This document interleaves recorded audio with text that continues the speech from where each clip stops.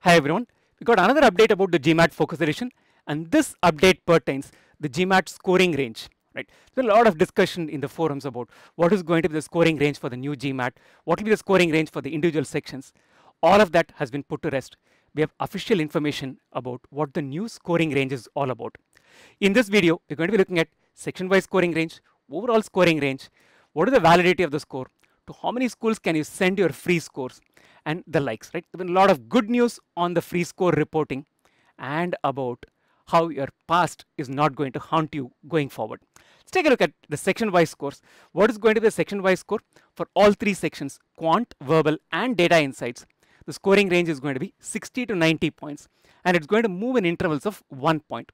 So test taker score could be 84, 85, 86, so on and so forth. Quick recap at this point. Let's take a look at the duration for each section and the number of questions to be answered for each section. For the quant section, it's 21 questions to be done in 45 minutes, a little over 2 minutes per question. Verbal section, 23 questions in 45 minutes, little under 2 minutes. It appears as though you've been given more time per question in the verbal section.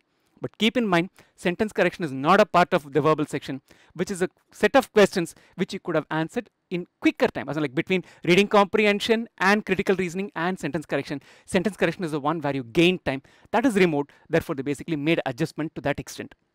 Lastly, the new section, data insights, you have to answer 20 questions in 45 minutes. That's about two and a quarter minute per question, right? So these are the three sections, score 60 to 90 and moves in intervals of one. What happens to the overall score? Is it going to be the same as the old test, which is between 200 and 800? No, there is a change there too. GMAT has brought about this change essentially to tell the business schools that which score you have taken because the GMAT score is valid for five years. So there is going to be a period of time when the old GMAT and the GMAT focus edition scores are both going to be valid scores for a test taker. So by looking at the scores, the business school should be able to say, hey, this student has taken the focus edition, this person has taken the older version, right? So to make that distinction, they've added five points to every score that is possible, right? So essentially in the old GMAT, the score range used to be 200 to 800. Now it is 205 to 805. So score is going to be a 745, 755, 765, so on and so forth. So all total scores end in 5, right? This is something to keep in mind. What is the weightage of each section?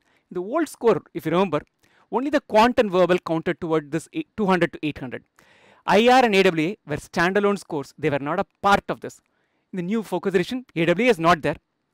IR plus data sufficiency is what is called as data insights. That IR component is now going to matter in this 205 to 805. All three sections, quant, verbal, and the data insights carry equal weightage, right? One third, one third, one third is the weightage of all of these three. Few more pointers, things that were there in the old edition, are going to continue in the focus edition, there's going to be a penalty for not completing the test. For instance, out of the 21 questions in the GMAT quant section, you managed to attempt only 18 questions and you ran out of time, then essentially there's going to be a penalty attached for the three questions that you did not answer. If you did not answer five questions, the penalty is going to be greater. So the penalty is going to be proportional to the number of questions unanswered. So it's in your interest that you answer all questions in all of these sections. So this continues from the older version, this aspect of it. Now, we were able to send five score reports, Uh, five scores to five schools free of cost when it took the older version. Does that continue even now? Yes, it does. But before that, let's look at the validity of the score. The validity of the GMAT score continues to be the same five years as it was for the older edition. We could send scores to five schools. These are called free score reports to five schools. The only catch in the older version is you had to decide what those schools were before you took the examination. So you haven't seen your score. You do not know how good, bad, ugly it is. And you have to take a guesstimate as to, hey, I'm likely to get a 710, a 720. Therefore, I'm going to apply to the school. And where do you guess that from? Based on your previous marks. They made life easier on that count. Now, you can send the same scores to five schools free of cost. That continues. But when do you have to decide the schools for which you're sending? Not before the examination after the examination, not even immediately after the examination, they give you adequate time. They give you time up to 48 hours, not from the time you completed the exam, from the time your official score will be available on MBA.com. Typically, official scores become available on MBA.com 7 days to 20 days from the time you took the test. So let's say even if it is available to you 3 days from the time you took the test. You took the test, three days from the point in time, you have your official score, and another 48 hours. So about five days from the time you have seen your score, you can ruminate about it. You can say, do I want to send it to which schools can I send it? Got a 720. Let me. I've got a 725 now. Let me send it to these five schools. You can decide it on that count and then do it. So they give you adequate time to make meaningful choices. It's no longer a blind choice, right? Basically, it's basically decided. Okay, I got a 690, 710, and 730 in my mocks, so I'm likely to get a 710. So which school should I send? No, no such guessing guessing right now. You have adequate time. You can speak to your tutors. You can speak to your mentors. You can speak to your uh, coaching people. You, you, can find out what schools will best suit for that particular score and then you can send it to those particular one. There's some more good news right? The good news continues here. In the earlier version right essentially let's say i took two gmats took one gmat in march 2023 scored a 710 took another gmat in april 2023 scored a 740 when I took the 710, I accepted the score because it was a good enough score. I decided I could do better, so I did a second GMAT and got a 740. When I report my 740 to any school, we are talking about the older version, those schools will get to know your 710 score if you had accepted it. If you had cancelled it, they will not know. But if it accepted the score, they will get to know it. That no longer exists. Let's say you took three GMATs. GMAT 1, GMAT 2, GMAT 3.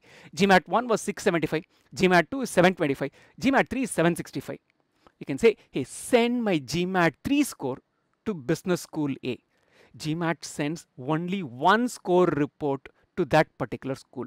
It's not going to talk about any previous attempt of your GMAT. You can select score report 2 to school Y, score report 3 to school X. You can decide which one goes to which school and GMAT reports only that score. Your past is completely as in you decide. You have a lot more control about which scores go to which school. For example there could be a school for which the overall score might matter. There might be a school for which tom-tomming your quant score might matter right? The marginal difference in your overall score. Something might be a 765 another might be a 745 745 is the one where you probably got a perfect 90 in the quant section and you want to show that 745 to that school. So you can decide that 745 score goes to school X. In another school where the overall score might matter, you might say 765 goes to this particular school. So a lot more control is available and these are welcome things to make a test taker's life a lot easier. Best wishes.